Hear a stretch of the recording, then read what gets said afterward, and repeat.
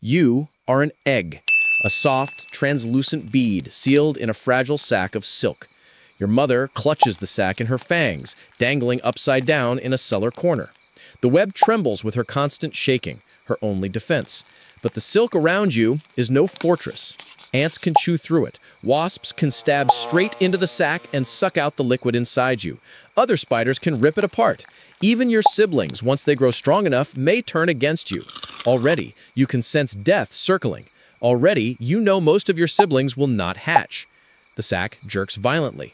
Your mother trembles as a beetle crawls past. She shakes harder, blurring her body so the predator cannot lock onto her. It works this time. The beetle wanders off. But the message is clear. Safety is an illusion. You begin to twitch. Legs coil inside your egg. Your body pulses against the thin wall. You are minutes away from hatching. And then you split free. You are a spiderling, a pale, trembling, fragile thing. Your body is barely a speck. Your legs are absurdly long, thin threads that wobble as you dangle. Your skin is see-through. You can't hunt, you can barely walk. Your mother clutches you gently among your siblings. She feeds you scraps, gnats, tiny flies, caught in her tangled web. You press your fangs into their soft bodies and slurp the liquefied soup. You survive, but only barely. Your siblings shift and squirm. You are crowded. Hunger gnaw at all of you. One of your brothers lunges. He snaps at a sister's leg. She tumbles. The group swarms. Cannibalism erupts. One sibling is gone, drained dry. You do not mourn. You only tremble, because next time, it could be you. You try to weave. Your silk is weak, your web a messy tangle, nothing like the perfect geometry of an orb weaver, just a hammock of sticky threads. You dangle upside down, clumsy, waiting. Your legs shake. Not because you want them to, but because this is your only trick. Predators can't focus on a blur. You tremble violently, making yourself look ghost-like, everywhere and nowhere at once. It fools some, not all. A wasp enters, its wings buzz, its stinger gleams, it swoops through your sibling's web, impales one, and drags the twitching body away. The silk shakes, your mother trembles frantically. You freeze. The wasp does not see you. You live, for now. Hunger. The gnat scraps are gone, your belly aches. A tiny cousin stumbles into your hammock. You pounce, your jaws sink into his soft body. Venom, weak, but effective. You wait as his insides turn liquid. You drink him down. You eat your own kind. You survive another day. You are larger now. Your legs stretch longer than your body many times over. They snap easily, but they reach farther, sensing vibrations in your web. But you are still pathetic, still fragile. Your body could be crushed by a falling raindrop. Humans notice you now. They walk into the cellar, see your trembling shadow in the corner, and recoil with disgust. Daddy Longlegs, they cry. A broom sweeps your web. Your mother is gone, smashed against the wall. You shake harder. You hope they don't see you. You are alone.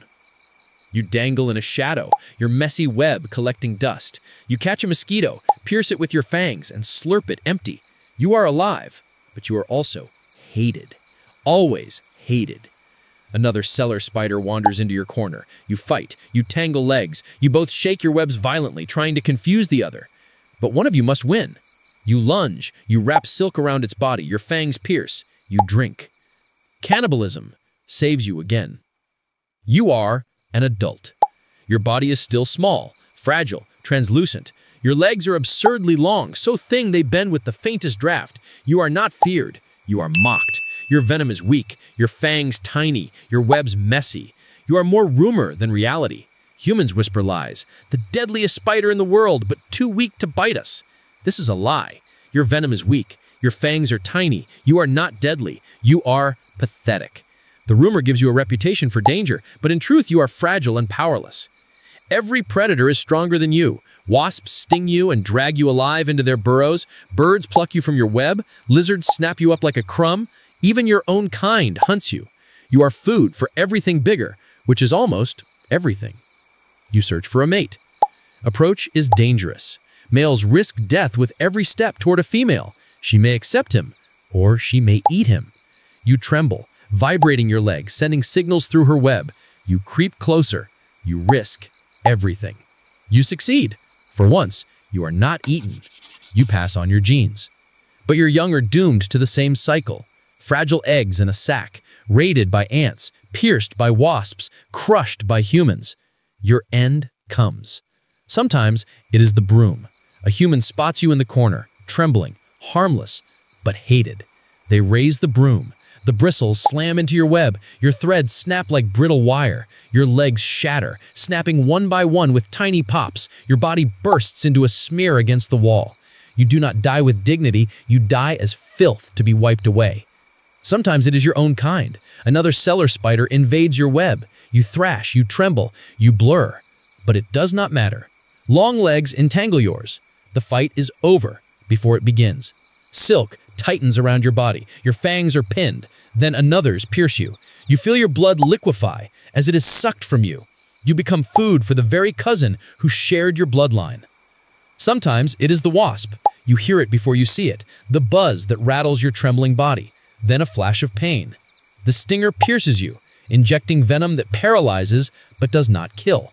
You are alive, trapped in your body. You cannot move as you are dragged from your web, carried into a burrow. You are laid beside other corpses, other victims. The wasp lays eggs on your body. You are still alive when the larvae hatch. They burrow into you. They chew through your insides, eating you alive from the inside out. You feel every bite, but you cannot scream, cannot flee. You are a coffin. Sometimes it is starvation. The cellar grows cold, prey vanishes. Your web collects only dust and shadows. You weaken. Your legs tremble with hunger, not defense. Days stretch on. You shrink. Your body shrivels until one day you collapse in your own web. You hang there, a hollow husk, swaying in silence until a draft carries you to the floor. You die not with violence, but with emptiness. And sometimes the cruelest death is not physical at all. It is reputation. You are remembered not as a survivor, not as a creature of nature, but as a lie. Humans whisper, the deadliest spider in the world, but too weak to bite us. They repeat the myth with laughter. You are cursed with a false legacy, not respected, not feared, not admired. Only mocked, only despised. So why does it suck to be born as a daddy longleg cellar spider? Because no matter how you live, every ending is misery. Crushed by a broom, eaten by your own kin, paralyzed and hollowed out by wasp larvae, starved in silence, or remembered only as a joke, despised for eternity. You are Pholcidae, born fragile, living hated, dying forgotten. And every time someone walks into a basement and sees your trembling body in the corner, every time the broom comes down, every time the lie is whispered that you are the deadliest spider alive but too weak to bite us, they remember you, not with awe, not with pity, but with disgust.